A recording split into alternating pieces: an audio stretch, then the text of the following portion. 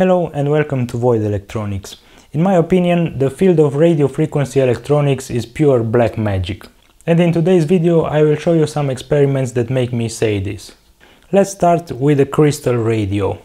Did you know that you can make a radio that can pick up stations without having it connected to any source of external power? This one has no batteries and it is not connected to the mains and it allows you to listen to some stations using headphones.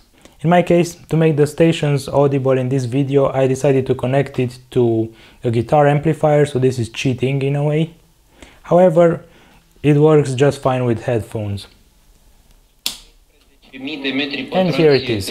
Am vizitat astăzi șantierul care merge foarte bine și bineînțeles că și Agigea ar putea It can also be tuned. o destinație bună pentru And here's the other local station that I can pick up. scopit producătorul n-a scopit cu absolut nimic. de învățarea limbilor română sau maghiară. Lecțiile sunt organizate împreună cu Universitatea Babeș-Bolyai din Cluj-Napoca și se adresează vorbitorilor non-nativi, relatează corespondenta The main component of this radio is this loop antenna, which acts as an inductor and as an antenna at the same time. And it's made out of 17 turns, wound on a plywood frame. The length from here to here is 31 centimeters. There is a 4 millimeter space between the turns. And for the wire, I used some Litz wire, which basically means that this is not a solid piece of copper, but is made of several very fine copper strands. And the antenna is connected in parallel to this tuning capacitor, which is a variable capacitor that I got out of a radio. One side of this parallel tank is connected to ground, which is really important for decent performance out of a set like this. And the other terminal of the tank is connected to a germanium diode. Germanium diodes are pretty special because they are very fast, which is really important in this type of application, and they also have a much lower voltage drop with respect to silicon diodes. So these have a typical voltage drop of around 200 millivolts, whereas silicon diodes have a voltage drop of around 650 millivolts at room temperature. And since this radio picks up medium wave stations, the diode needs to switch fast enough so that it works at around 1 megahertz. And unfortunately, germanium diodes are not around anymore, so you have to find an old one if you want to build something like this at home. In this case, the germanium diode acts as a radio detector, which is basically a rectifier. So by rectifying an AM signal, the output of the rectifier is the envelope of the RF signal. And in the case of AM stations, the envelope of the signal is actually the audio signal that needs to go to the headphones or to the audio amplifier. As I said, there are no amplifiers or external power sources here, which means that we are working with extremely low powers. And this means that we cannot use any headphones for such a set. So the headphones are pretty special. The headphones that I'm using are some old 50s military headphones and they are 2.2 kilo ohms per channel and I'm using them in series which means that their impedance is around 4.4 kilo ohms. For comparison, modern headphones are usually 32 ohms per channel.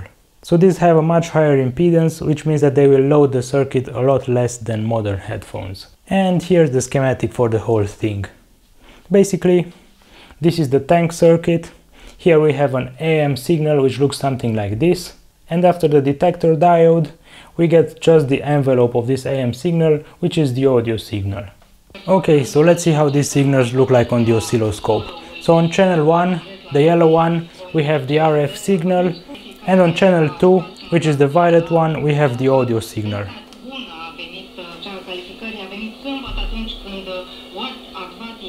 The signals are pretty low, so it's hard to figure out what's going on, but you can see that the second channel is more or less the envelope of the first one.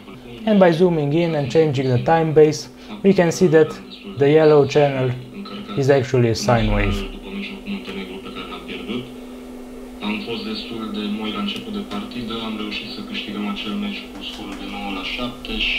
Now, believe it or not, a radio like this one is more than just a hobby project. These sort of radios were actually built during the Second World War so that the soldiers could listen to the radio in remote places. And I can only assume that they were useful and convenient during the war since they didn't need any external power. However, listening to the radio is not such a big deal, so I was wondering if I could harvest this energy and use it for something else. And a typical challenge for something like this is to try to turn on an LED. So let's see what sort of voltages do we get here. To do this I remove the guitar amplifier and the headphones and I replace them with a capacitor. This one is an 820 nanofarad capacitor. Let's see what sort of voltage we get here.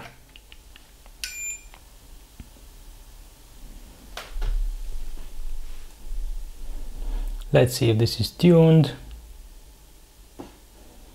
So by tuning it, we get around 600 millivolts, which means that this is not enough to turn on an LED. I did my best to make this experiment work, so I chose a red LED which has the lowest voltage drop. Here it is, and I connected it to the radio. As you can see, we get absolutely nothing. However, I think we can use an old trick to make an LED work. I replaced the capacitor with a larger one. This is a 47 microfarad capacitor. I let it charge and my plan is to make an LED light up using a Joule thief. So here it is. Let's try it out. Yes, it works. I'm not sure if you could see this on video, but we had a brief flash from the LED. Of course it cannot turn the LED on continuously because the power is too low, but if you let the capacitor charge up, it can actually light up the LED for a brief moment. So let's try it once again. 3, 2, 1, now. I hope you saw that on video. The Joule Thief is basically a step-up converter that's based on a blocking oscillator. I built mine using a choke that came out of a power supply. This used to be the mains input filter.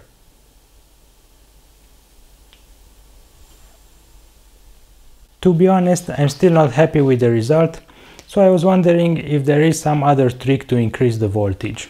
And this is what I came up with. This is basically a voltage doubler. So far we only had this section of the circuit, which is a single wave rectifier, which rectifies the positive half wave. However, we can add a similar section that rectifies the negative half wave and by using the differential voltage between the two capacitors we can actually double the voltage or at least in theory. Let's see if that works. Okay so the circuit is right here. Let's see if it works. First of all let's test the positive rectifier. Okay we have around 1 volt here so that looks good. What about the negative one and here we have negative 1 volt which is great. That means we have at least 2 volts across the two. Okay so here's the differential voltage and let's see if we can light up an LED right now.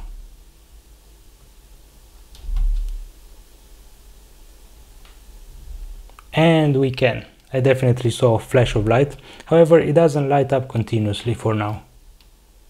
And once again here's a close-up on that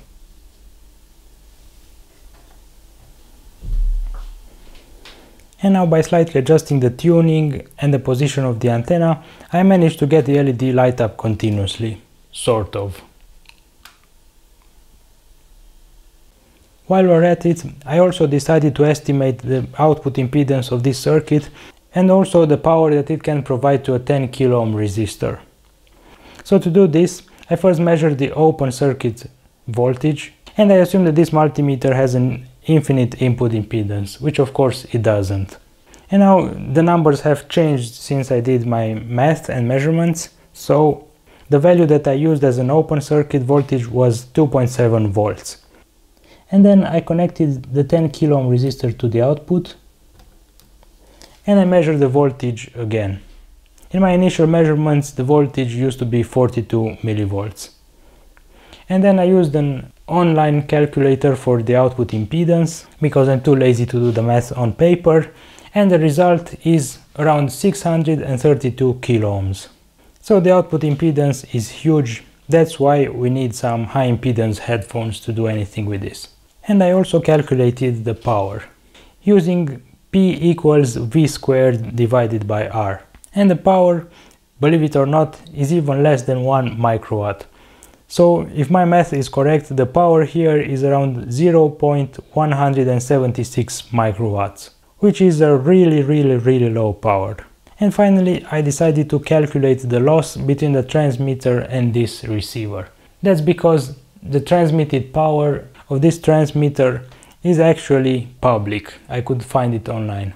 And the number I found is 950 kilowatts, which I hope is ERP, which means that the ratio between the received power and the transmitted power is around 1.85 times 10 to the minus 13.